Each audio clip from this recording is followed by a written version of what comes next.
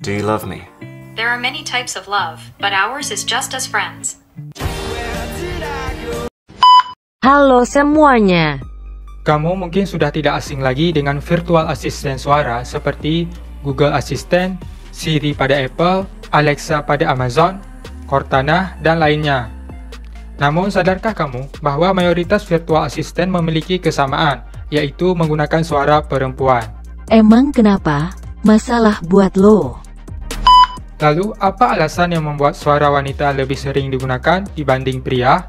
Baiklah, berikut beberapa alasannya.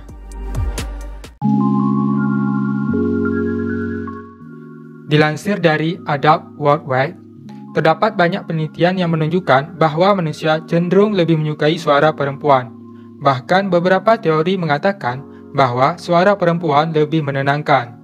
Selain itu, suara perempuan cenderung mengartikulasikan suara vokal yang lebih jelas sehingga lebih mudah dipahami, terutama di lingkungan industri.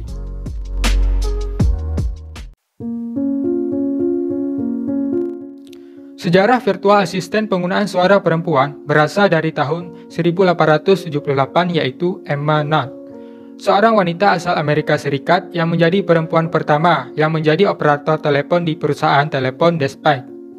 Saat itu, suara Emma sangat diterima dengan baik dan menjadikan banyak perusahaan mulai beralih menggunakan suara perempuan sebagai operator telepon. Bahkan, hingga saat ini banyak perusahaan yang kemudian menjadikan suara perempuan menjadi dominan untuk virtual assistant. Hal tersebut yang akhirnya membuat rekaman audio wanita lebih banyak dan mudah ditemukan untuk pengembangan sebuah aplikasi.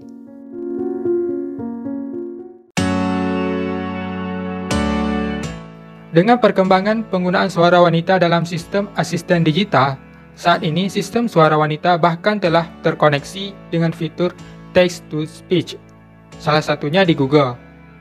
Manajer teknik global untuk text to speech di Google, Brent Ward, menjelaskan bahwa untuk mengembangkan suara pria ke dalam fiturnya dibutuhkan waktu hingga lebih dari satu tahun.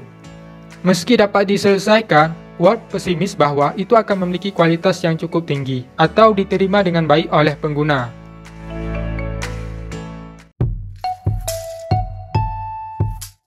Dilansir dari researcher.com, suara perempuan sebagai asisten virtual lebih efektif digunakan sebagai strategi pemasaran bisnis karena suara perempuan terdengar lebih menyenangkan dan menarik. Asisten virtual menggunakan suara perempuan digambarkan lebih simpatik, membantu, dan ramah sehingga lebih cocok digunakan perusahaan untuk meningkatkan kepuasan pelanggan hingga keuntungan perusahaan.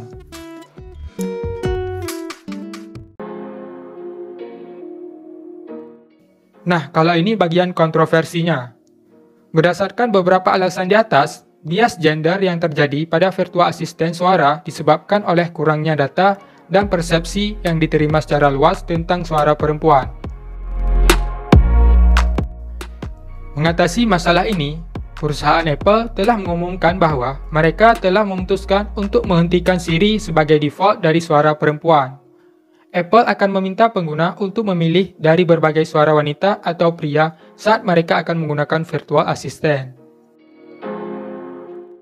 Hasil survei dari Real Research Media pada laporannya 3 Mei 2021 mengungkapkan sebanyak 65,41% pengguna setuju keputusan Apple yang menghentikan default Siri ke suara perempuan.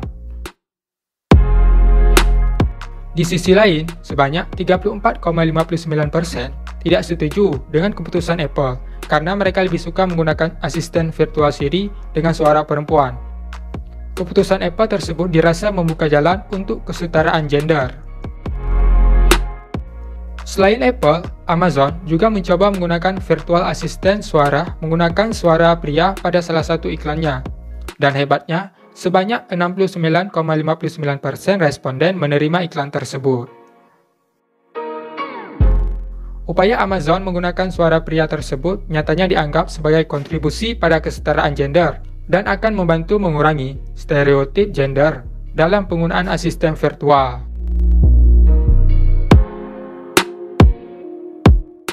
Jadi, kesimpulannya, kenapa pada virtual assistant lebih sering menggunakan suara wanita yaitu Nomor satu, suara wanita lebih banyak disukai.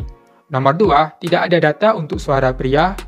Nomor 3, kesulitan membuat suara pria dalam sistem artificial intelligence. Dan nomor 4, suara wanita lebih efektif untuk strategi pemasaran. Nah, sekarang sudah paham kan semuanya? Jangan lupa subscribe, like, komen dan bagikan video ini ya.